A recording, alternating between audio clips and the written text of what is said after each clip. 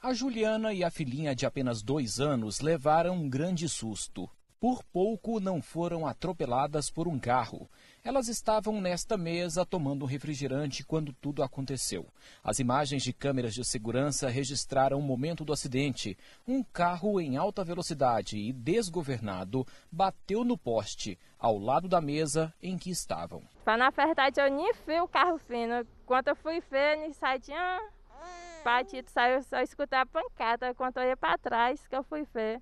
O motorista começou a perder o controle do veículo próximo ao ponto de ônibus. As marcas do acidente ainda estão aqui na calçada. O carro só parou depois de bater no poste. Mãe e filha escaparam por um triz de um grave acidente. A minha reação foi só proteger minha filha. As imagens mostram ainda que o motorista desceu do carro um pouco tonto. Ainda não se sabe se ele estava bêbado ou se foi por causa da batida. A Polícia Civil vai investigar as causas do acidente. Algumas pessoas até chegaram a falar que o poste salvou a vida de Juliana e da filha, mas ela tem outra explicação. Foi Deus mesmo. Muita gente fala que foi o poste, mas eu digo que foi Deus, né?